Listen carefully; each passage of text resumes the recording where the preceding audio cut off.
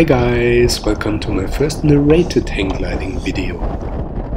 Volkmar, the guy who's now controlling the nose of the glider, convinced me to release that material because he did that for his flight that day on an Atos rigid wing hang glider and the material caught quite some attention due to the turbulences he experienced. And people were asking how the Flex pilot did that day. And this is what we see now. I am the first one to take off and due to the strong wind it was basically a no step takeoff but I think it was okay regarding the conditions and of course I am very happy when I have people helping me control the glider before takeoff on a strong wind day because this is always the hardest thing on such days. So thanks again uh, to the guys that were helping. I'm expecting a nice soaring flight now.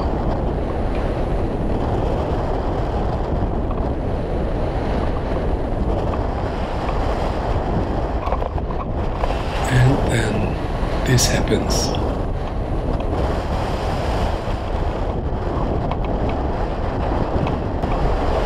Probably I'm flying the glider a little bit too slow here. And also with the terrain, I'm expecting turbulences here. So I think it's not very unusual that this is happening here with strong wind. But of course, it doesn't feel so great when the glider is not doing exactly what you want it to do. And I'm happy that I'm far enough from the terrain and the ground.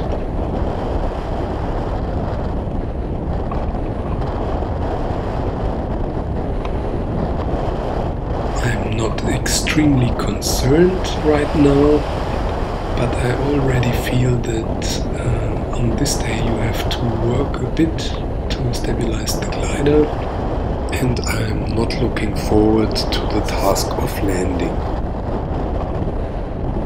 The other pilot said the forecast predicted perfect conditions, so I didn't do a very complete weather check myself, which was of course a mistake.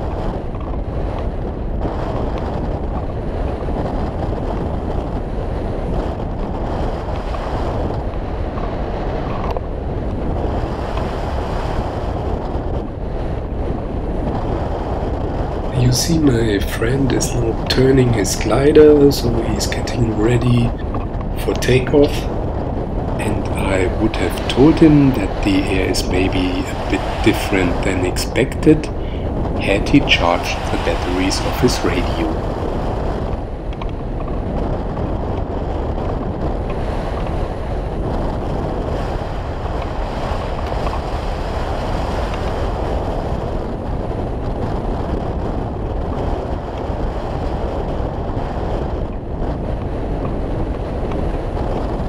I am now basically waiting for the other pilot to take off. I'm just hanging out and uh, even trying to gain a little bit of height and even trying to relax myself as far as possible. This is when you sometimes see me releasing grip. That way I use reduction of muscle tension as a means of relaxing myself while flying. But actually at that point I already have to pull a little bit too much, like constantly, to not fly backwards. But also I'm already thinking if it might be better to just pull, speed up the glider and go to land. Now the Atos is in the air. See him. And I just watch him for a while.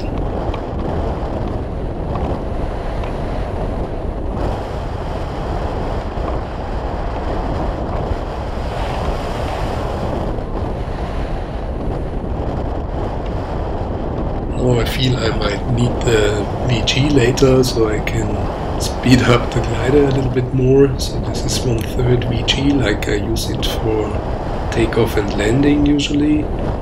And you see I still try to relax myself as much as possible while watching the other glider. But I also have to pull a bit more and you also see that the air is bumpy in a way. The wind speed definitely already increased. I have to pull more or less all of the time. And I guess the wind speed was between like 60 to 70 kilometers an hour up there. The problem is I didn't get any display by the variometer because the one I usually use is mounted in a pod that I use for my T2C and now here I'm flying the Wills Wing U2 which is a great glider, I love it. But the T2C has higher performance of course. And uh, the Vario somehow didn't display any wind speeds. I haven't been using it for a while. But the other pilot had a working variometer and he's telling you more about the wind speeds. It looks like he's flying out, but I think he climbed again later and that's also the reason he was experiencing more turbulences than I did. Now you see that I'm basically flying a bit backwards. Again, when I'm not so concentrated, because I'm watching the other glider and I do not want to climb more now because I understand that the wind is increasing with the height. This might well be close to the highest point of the flight, which was only 175 meters above uh, takeoff, which is less than 600 feet But I have definitely no intention of climbing up higher.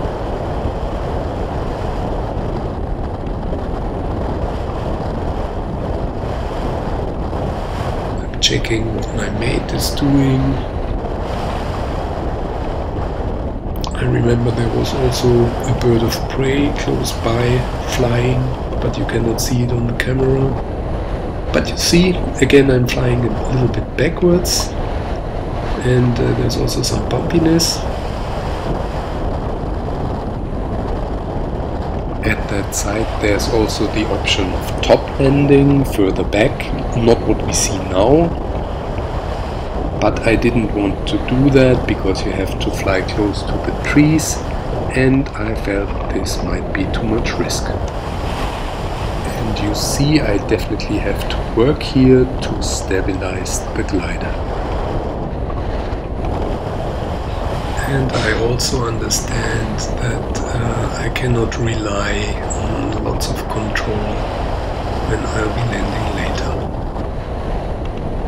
The other thing is, uh, what did we expect? What kind of weather did we expect uh, on that flight? Actually, my friend, as I said, was checking the weather and we weren't very much aware of the gradient. I thought the bigger problem would be the spread between steady wind and gusts. And also before we uh, launched, we were basically having no wind at the bottom of the ridge. There's a windsock there and it was almost showing no wind at all. So actually we were concerned if we'd get too far from the ridge that we'd be landing immediately. So it was a bit of a strange situation and it may be an indicator also to not take off next time if you have this strange kind of conditions.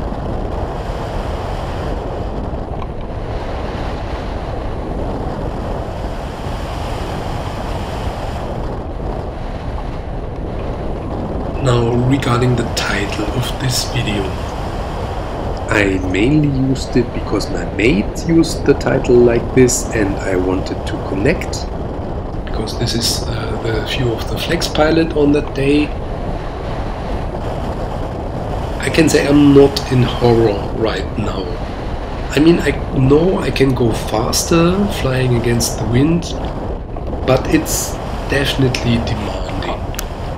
So you also saw some turbulence again Maybe you even noticed some backwards flying before.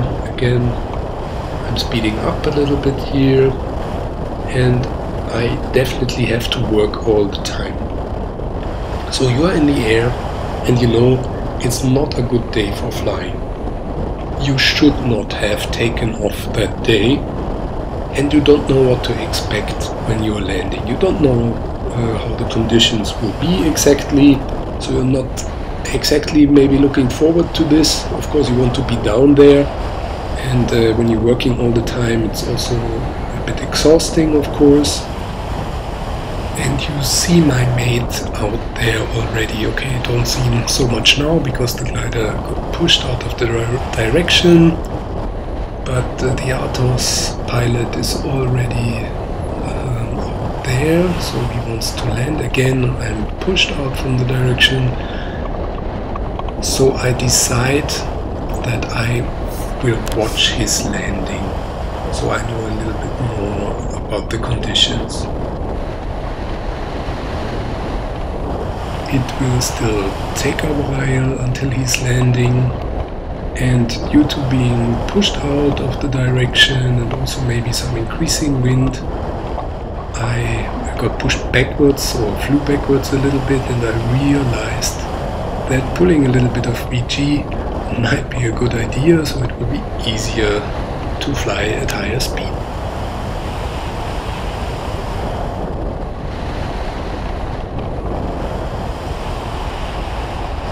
There's again the bird of prey to my left which we cannot see but he's really having lots of fun, more fun than I do and I still have to work all the time. But currently I'm uh, I moved a little bit more forward and also I lost some height already. But still there's lots of wind here.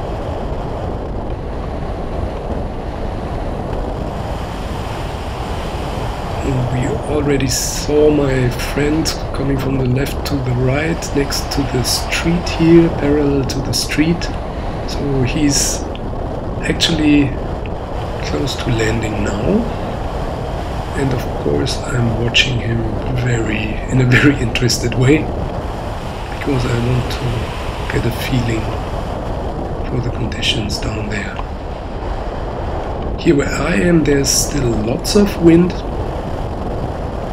but uh, his approach looks rather smooth so I'm not so worried right now, but still you see it's demanding. Although I'm already in front of the ridge now, and uh, my next step will be selecting a place to land. And uh, I do not want to land too close to him, but I intend to land close to the road on the big empty field so there are not so many obstacles to be expected and even if I do not have good control over the glider when I'm landing uh, it should be okay so there is less opportunity of uh, any injury or something, some problems.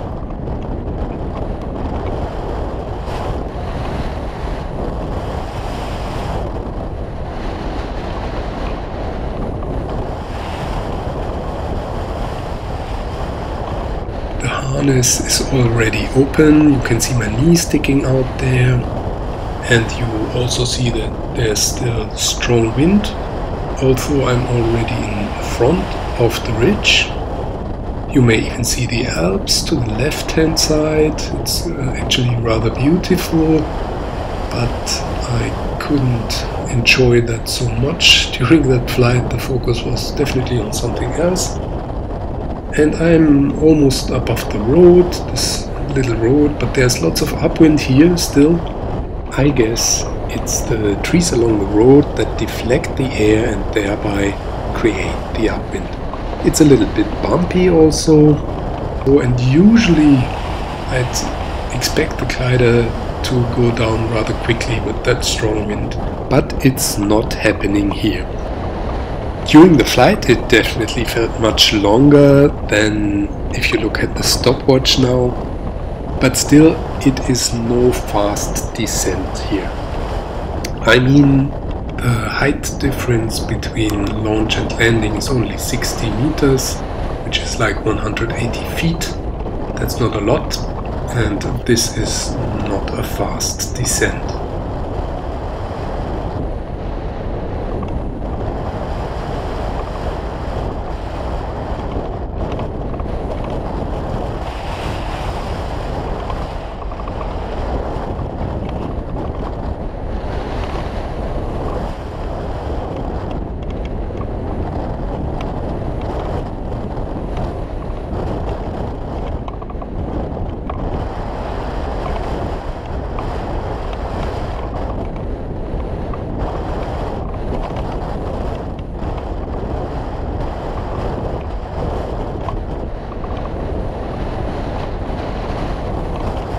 As long as I stay in front of the road, the whole area is more or less free of obstacles, so this shouldn't be a big problem here. And also I feel that the glider is now starting to descend a bit quicker than it did before. And you also see my friend running across the field, so he may help me after landing. I am speeding up the glider to have more control while landing. I think I'm overdoing it actually and you see I'm having ground speed now and you also see Volkmar running to me. Thanks a lot Volkmar, that was very nice of you. That moment didn't feel so nice, but then in the end I managed a good landing as usually, if you have strong wind, it's usually no problem. And I'm turning the glider immediately.